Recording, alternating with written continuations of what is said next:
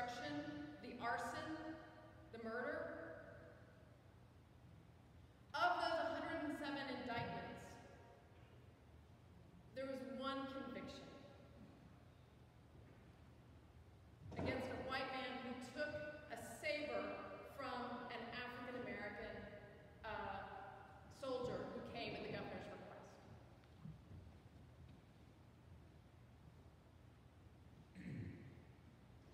Hundred and ten years later, we're gathered here to remember. You take a breath. Are you nervous? I should have. I'm nervous. So I wanted to mention that business district that was burned down, which was called Lebanon, is still a business district here in Springfield. I believe at that time predominantly African American and Jewish businesses, and now sits Horace Mann and other businesses. Just to give you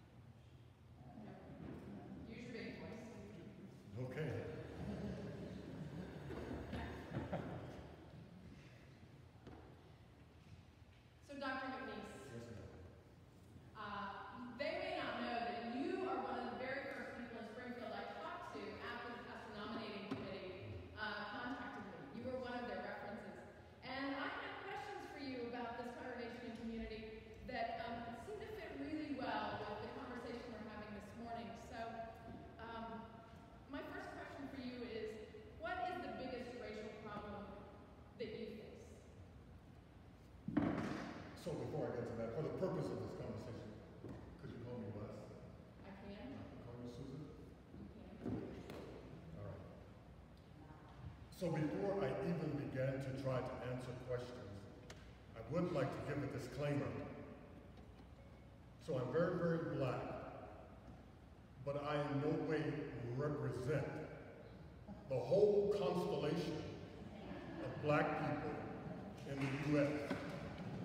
who are very diverse and not all think like me. So we got that? This is Wes McNeese speaking. All right, here's the question. Did you say what is my background?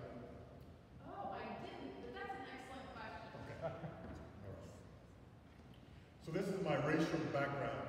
I am African American, proudly African American, and that means something particular to me. I know folks use the word, but for me, an African American is a person of African ancestry who also is a descendant of U.S. slaves. That's my definition of an African. And I am proudly African American. As best I know, on my mother's side, as far back as I've been able to trace, there was Robert Jones, and he was born a slave in Richmond, Virginia, and brought to Arkansas. So on my mother's side of the family, we come up out of Arkansas. Robert Jones, by the way, did go on to become a private in the U.S. Colored Troops. He's my great, great, great granddad. On my daddy's side, I don't know as much, but I do know that Mr. Robinson was born a slave in Richmond, Virginia, and brought to Mississippi because of the brick wall that you run into trying to research her slave ancestry. I don't know as much about him, but my daddy's side of the family, Mississippi, so Arkansas and Mississippi. But I'm proudly African American primarily because I am very proud to be a member of a group of survivors. When I think back on all the stuff that my ancestors went through, I'm standing here on this stage, I am proud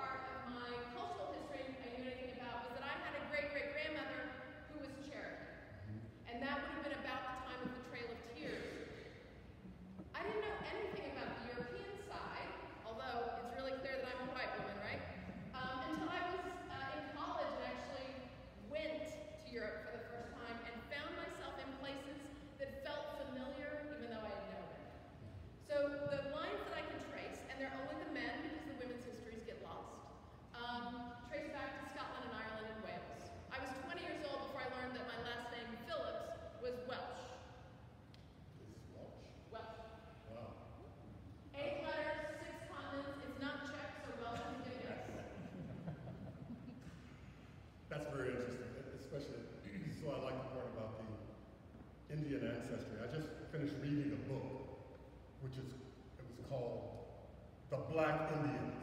It was just a fantastic book, but it talked about how much intermarriage there was between Native American Indians and African slaves, and how we so, somewhat blur or forget about that relationship. So there's, there's a lot of kindred spirit that's going on there. I simply wanted to, to mention that to you. I recommend the book, fantastic